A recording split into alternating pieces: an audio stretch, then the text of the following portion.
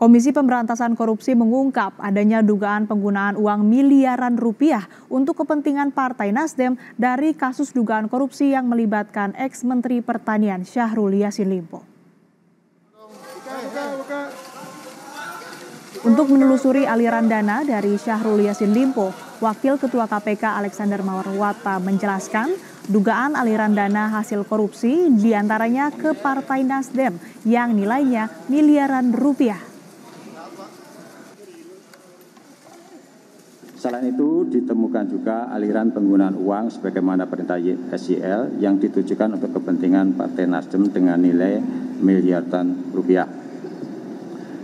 Penerimaan-penerimaan lainnya dalam bentuk gratifikasi yang diterima SCL bersama KS dan MH juga masih terus dilakukan penelusuran dan pendalaman oleh tim penyidik.